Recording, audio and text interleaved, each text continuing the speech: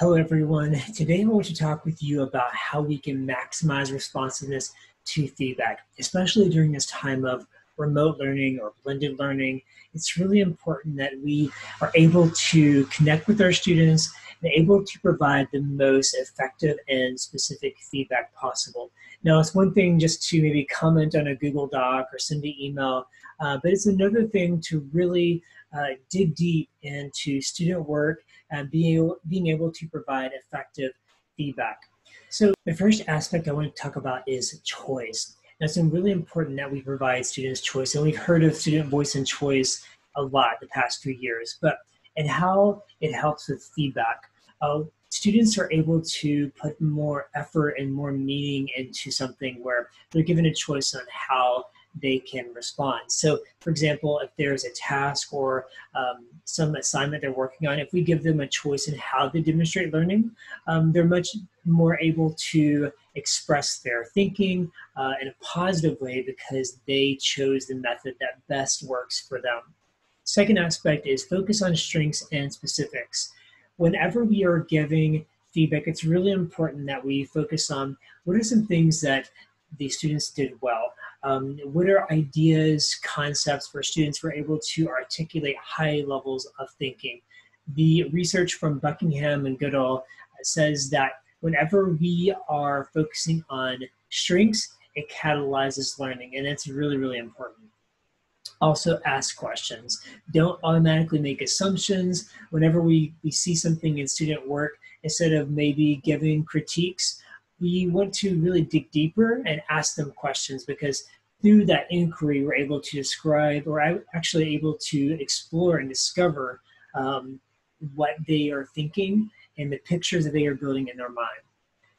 Don't do the thinking for students. And Fisher and Frey have some excellent research around prompts and cues. The important part of building learning is having students do the thinking making those cognitive connections in their mind. That only happens when we are prompting students as opposed to us telling students what to think. Peer feedback is also very important for students to get feedback from other students. Uh, many times, students have a different lens through which they see experiences than us as adults, so it's really important that students learn how to work together with each other. And then I also like 60 second video interviews, especially during this time of remote learning, students are able to check in with you. You don't have a lot of time because you may have 25, 30, or 150 students if you are a secondary teacher.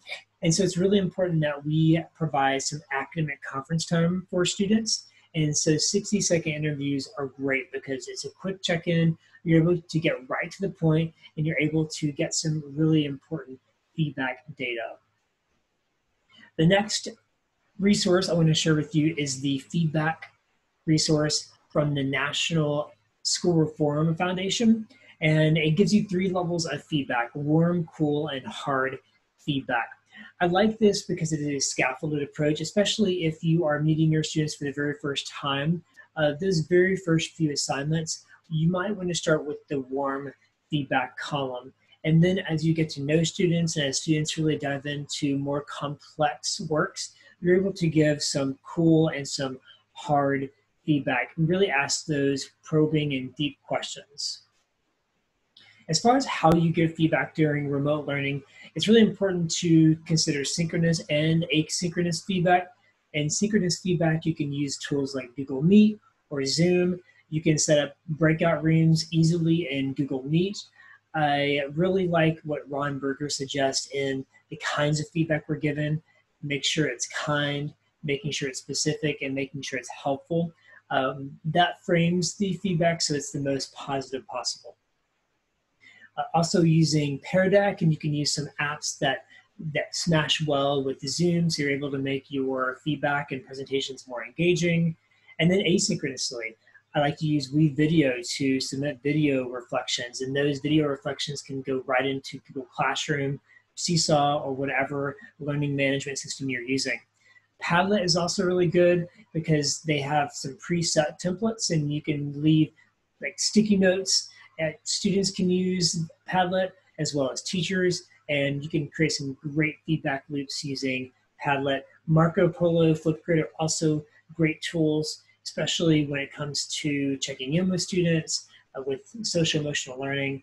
Uh, I would advise you check out all of those tools. I hope you found this helpful, and it's really important that we are connecting with our students, especially during remote learning.